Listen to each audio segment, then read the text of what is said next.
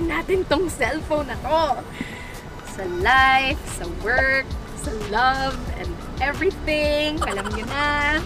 So yan, cellphone. Brush, of course, brush. Kisi Concepcion, ibinulgar ang mga details ng kanyang cellphone. Kanina nga lang po ay nakakaroon nga siya ng video at sinasabi nga niya, ikinatuwa ang kanyang cellphone dahil sinasabi nga niya at doon kinukuha ang mga personal, mga professional man o personal, mga communication. At syempre, marami na rin akong na-accomplish dito sa cellphone na ito. Mga communication like PGKC, kahit nga po LDR. Sabi nga niya noon, I've always watching him. Kahit malayo kami sa isa't isa, tuloy pa rin ang aming communication. So yun po kaya sinasabi ni Casey na maraming mga details, maraming na-accomplish doon sa cellphone niya.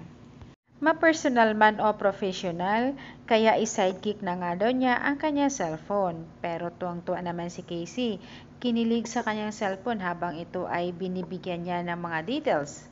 At bakit nga ba nagiging uh, blooming, inspired si Casey Concepcion?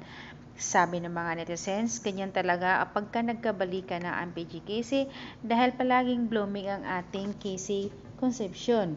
Ang nag-iisang ang nag-iisang minahal ni Piolo Pascual sa loob ng sampung taon.